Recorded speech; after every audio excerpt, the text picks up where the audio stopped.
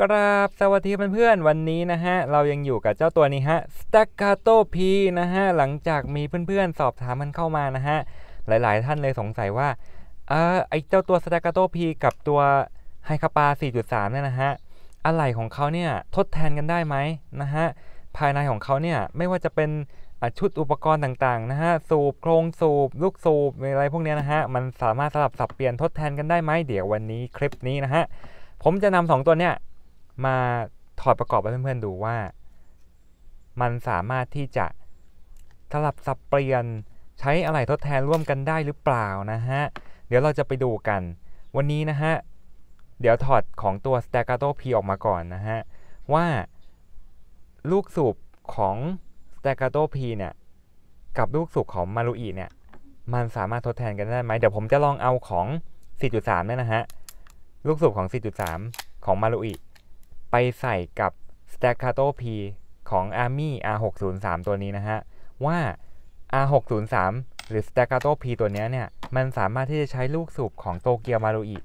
เดิมๆได้หรือเปล่านะฮะ นี่อันนี้นะฮะ ก็จะเป็น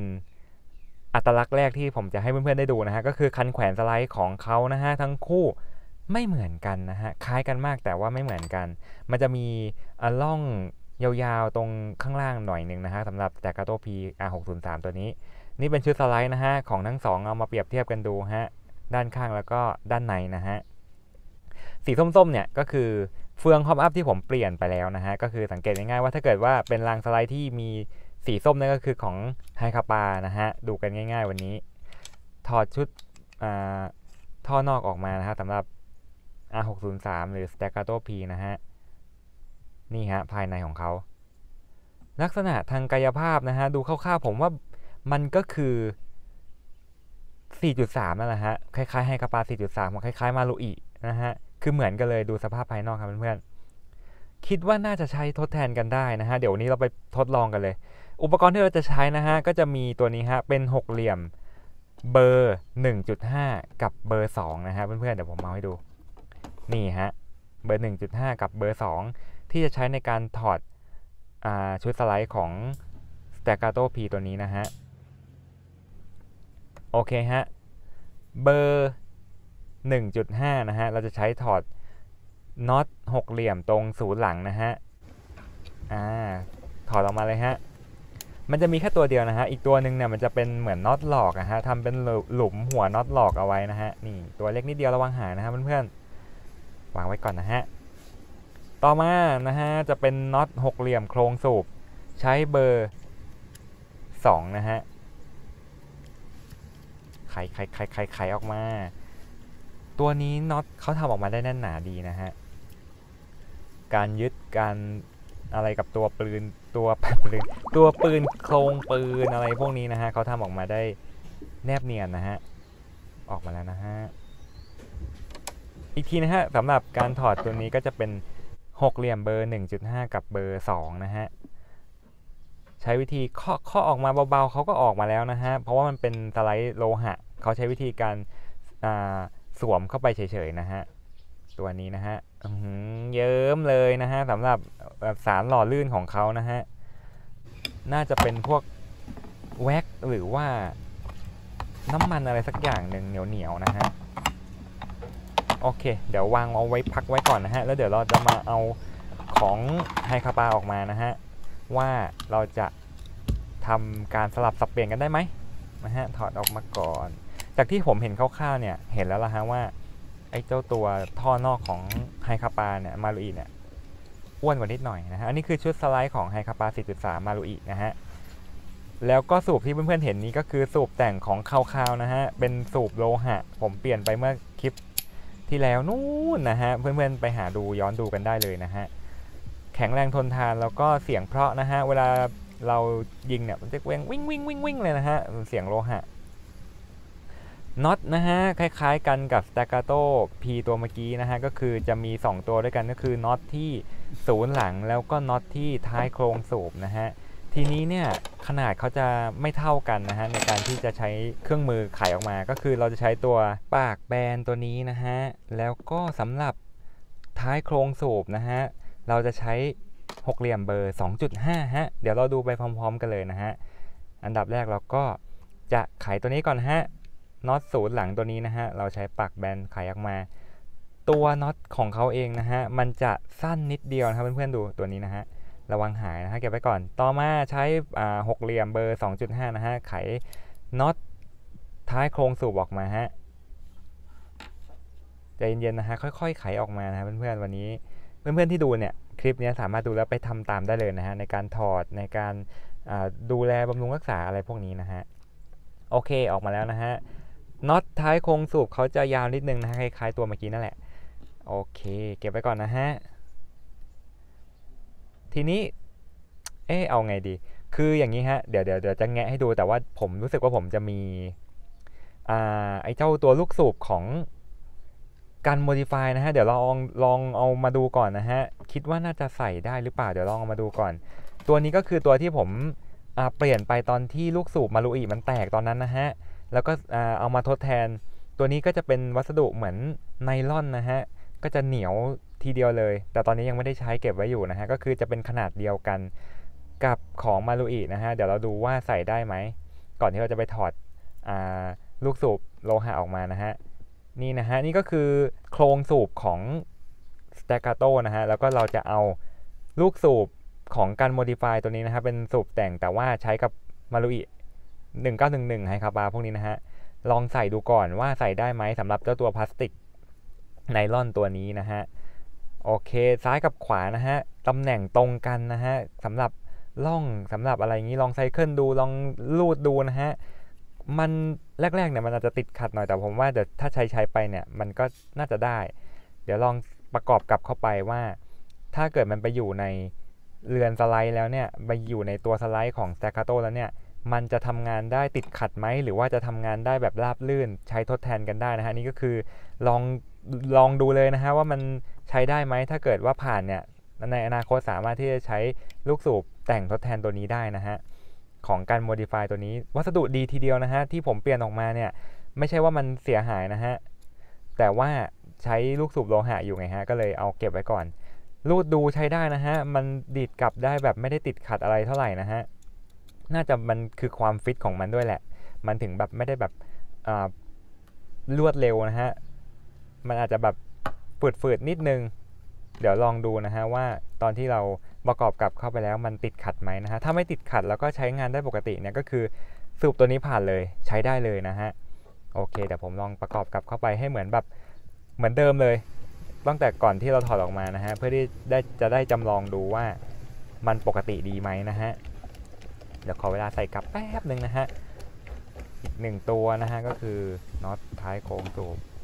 เหมือนเดิมนะฮะที่ในทุกๆคลิปในการถอดในการแมนเทนแนนนะฮะก็คือ ถอดอะไรมาใส่กลับเข้าไปเหมือนเดิมนะฮะโดยทำวิธีย้อนนะฮะก็คือถอด 1 ถอด 2 ถอด 3 เวลาประกอบก็ประกอบ 3 ประกอบ 2 ประกอบ 1 เข้าไปนะฮะย้อนขั้นตอนที่เราถอดออกมา แล้วเราจะไม่งงแล้วเราก็จะได้ลักษณะที่สมบูรณ์นะฮะในการประกอบกับนะฮะโอเคฮะ เวลาที่เราคอลอย ลอยคอแฮะรอคอยแฮะถูกแล้วนะฮะ เดี๋ยวเราจะไปดูกันว่ามันปกติดีไหมนะฮะ ใส่เข้าไป เอาไกหลอดใส่เข้าไปฮะอ่าเวลาใส่ไกหลอดตัวนี้นะฮะมันแน่นนิดนึงเพื่อนๆเวลาใส่ระวังกันด้วยนะฮะมันจะดีดนิ้วเราเราจะเจ็บนะฮะหรือว่า มันอาจจะทำรู้เสียหายได้ถ้าเกิดว่ามันดีดแรงเกินไปอะไรอย่างเงี้ยนะฮะ โอเค เรียบร้อยนะฮะ เดี๋ยวเราจะประกอบกับเข้าไป วันนี้เปลี่ยนโต๊ะทำงานนิดนึงนะฮะ ก็เลยมันทำอะไรไม่ค่อยถนัดนิดนึงนะครับเพื่อนๆอย่าเพิ่งลำคาญกันนะฮะ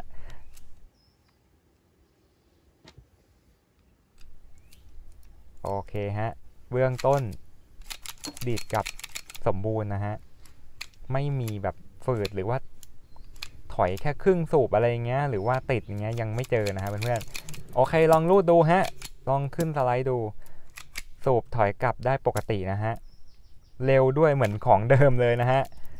โอเคสำหรับนี่ฮะลูกสูบกันโมดิฟายตัวนี้ที่เป็นตัวแต่งหรือว่าตัวสับเปลี่ยนสำหรับอ่า1911 หรือตระกูลไฮคาปานะฮะของมารุอิเนี่ย ใส่ได้เลยกับ Staccato P Army R603 ตัวนี้นะฮะ สามารถใส่ได้นะฮะ โอเคผ่าน เป็นอีกหนึ่งตัวเลือกนะฮะสำหรับการ modify ตัวนี้นะฮะ โอเคฮะเดี๋ยวผมขอลองอะไรสักนิดนึงนะฮะ เดี๋ยวผมจะลองเอาชุดท่อนอกของมาลูอินะฮะ มาลองใส่กับสไลด์ของ Staccato P นะฮะ ไม่ได้นะฮะ ติดนะฮะ สรุปก็คือสไลด์ของ Staccato P หรือ Army R603 ตัวนี้นะฮะ ไม่สามารถที่จะนำ ชุดลำกล้องท่อนอกของ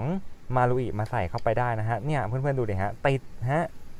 มันอ้วนกว่าของเดิมของมันนะฮะของมาลูอิเนี่ยมันอ้วนกว่าใส่ไม่ได้นะฮะยัดดันทุลังเข้าไปไม่ได้เราผมเราเอาออกดีกว่านะฮะเดี๋ยวมันจะชำรุดเสียหายนะฮะอันนี้สรุปว่าใส่ไม่ได้ครับโอเค ต่อไปเราก็จะลองเอาสไลด์ของมาลูอิมาใส่กับชุดท่อนอกของ Staccato P หรือ Army R603 ตัวนี้นะฮะ ว่าจะใส่ได้ไหม เพราะว่าตัวนี้ถ้าใส่ได้นี่มีเฮเลยนะฮะ เพราะว่าชุดท่อนอกของ Staccato P เนี่ยเขาเป็นชุดท่อนอกแบบฟิกด้วยนะฮะ มันจะนิ่งมากๆเลย ถ้าเกิดใส่ของอมารุอิได้นี่ก็มีเฮแล้วฮะ ใส่เข้าไป จิ้มจึกเข้าไปฮะ โอ้โหผ่านฉลุย เดี๋ยวต้องลองประกอบดูนะฮะว่ามันติดขัดหรือเปล่า ลองดูเลยแล้วกันนะฮะ ใส่ชุดไกลหลอดเข้าไปฮะ แล้วเดี๋ยวจะประกอบกลับเข้าไปเหมือนเดิมแล้วลองอแลกสไลด์ดูนะฮะ เดี๋ยวลองถอยเข้าถอยออกดูว่ามันได้หรือไม่ได้นะฮะ โชะเข้าไปครับเพื่อนๆ เอาคันค้างสไลด์มาก่อนนะฮะ ใส่เข้าไป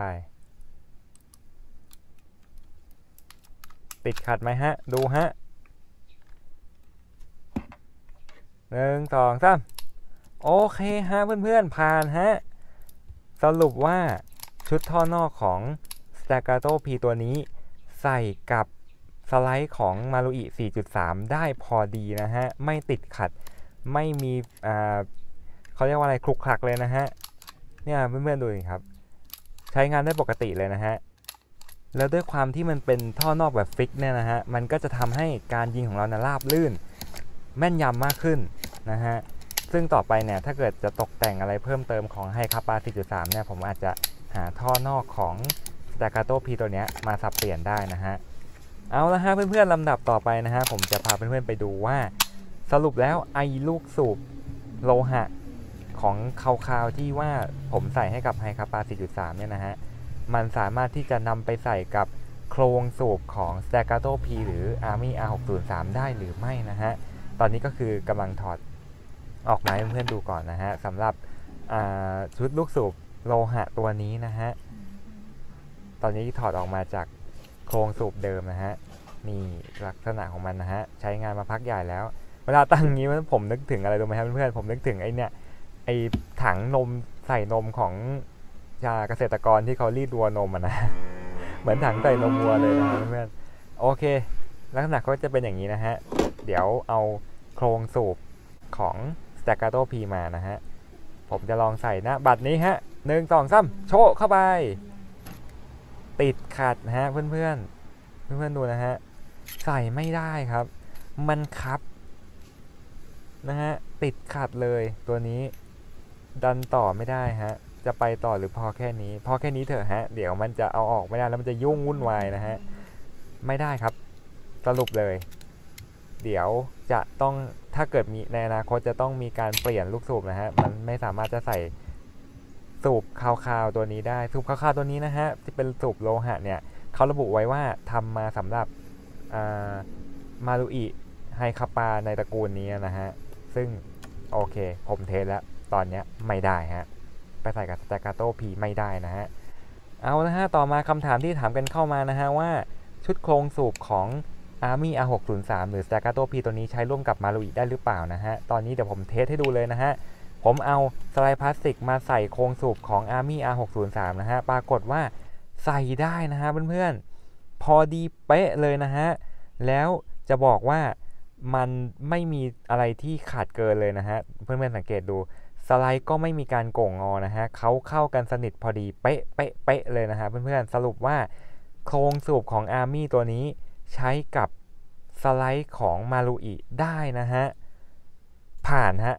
ซึ่งนั่นก็หมายความว่าชุดโครงสูบของมารุอิเองนะฮะ ก็สามารถที่จะนำไปใส่กับชุดสไลด์ของ Staccato P หรือ Army R603 ตัวนี้ได้นะฮะ โอเคเพื่อนๆ วันนี้เรามาสรุปกันดีกว่าว่าเรารู้อะไรกันไปบ้าง อันดับแรกเลยนะฮะ ข้อที่ 1 เลยนะฮะ สูบเดิมๆโรงงานของมารุอิไม่สามารถใส่กับชุดโครงสูบของ Army R603 ตัวนี้ได้นะฮะ ใส่ไม่ได้นะฮะ มันใส่ได้แหละเพื่อนๆ มันใส่ได้อยู่ฮะ แต่ว่าการไซเคิลการถอยเข้าถอยออกของเขาในชุดโครงสูบเนี่ย มันติดขัดอยู่บ้างนะฮะ เล็กน้อยซึ่งมันเขาเรียกว่าอะไรอะ มันไม่เสถียรฮะสองชุดลูกสูบที่ทำมาทดแทนนะฮะสำหรับยี่ห้อต่างๆ ยกตัวอย่างเช่น การ modify ที่เราได้ทดลองกันไปนะฮะ ที่ทำมาสำหรับตระกูล 1911 ตระกูลไฮคาปาตัวนี้ สามารถใช้กับโครงสูบของ Army R603 หรือ Staccato P ตัวนี้ได้ฮะ ใช้ได้นะฮะ ซึ่งมันก็ทนทานด้วยแหละ เพราะมันทำมาจากวัสดุไนลอนนะฮะ 3. ลูกสูบที่ทำมาจากโลหะ ยี่ห้อคาวๆนะฮะ ที่ทำมารองรับสำหรับการตกแต่งปืน ในตระกูลไฮคาปาตัวนี้นะฮะ ที่ผมใช้อยู่กับไฮคาปา4.3 ของมารุอีนะฮะ ไม่สามารถใช้ได้กับโครงสูบของ Staccato P นะฮะ ติดขัดนะเพื่อนๆ ใช้ไม่ได้นะฮะสำหรับโครงสูบของทั้งสองตัวนะฮะ สามารถสลับสับเปลี่ยนทดแทนกันได้แบบเป๊ะๆเลยนะฮะ และต่อมานะฮะ 4. ท่อนะฮะ ชุดท่อนอก ท่อนอกของมารุอิไม่สามารถใส่กับชุดสไลด์ของ Staccato P ได้นะฮะ ใส่ไม่ได้ฮะ และท่อนอกของ Staccato P สามารถใส่กับชุดสไลด์ของมารุอิได้นะฮะ แล้วใช้ได้ดีด้วยนะฮะ นี่ก็คือข้อสรุปของเราในวันนี้นั่นเองนะฮะ ก็หวังเป็นอย่างยิ่งเลยนะฮะ ว่าจะได้เป็นแนวทางให้กับเพื่อนๆนะฮะ ที่กำลังสนใจอยู่ไม่ว่าจะเป็นเจ้า Army R603 Staccato P ตัวนี้นะฮะ หรือ High Capacity 4.3ที่ เพื่อนๆอาจจะสงสัยว่าเฮ้ยมันอะไรตัวไหนมันใช้กันได้บ้าง ตัวไหนใช้แทนกันได้ ตัวไหนใช้แทนกันไม่ได้ สลับสับเปลี่ยนกันได้บ้าง สลับสับเปลี่ยนกันไม่ได้อย่างไรนะฮะวันนี้ก็มาทำคลิปตอบคำถามให้เพื่อนๆแล้วนะฮะสำหรับวันนี้ก็ขอขอบพระคุณเพื่อนๆเป็นอย่างสูงเลยที่ได้ติดตามรับชมกันมาจนจบคลิปเลยนะฮะ ฝากกดไลค์กดแชร์กด Subscribe ด้วยนะครับเพื่อนๆวันนี้ขออนุญาตลาไปก่อน บ๊ายบาย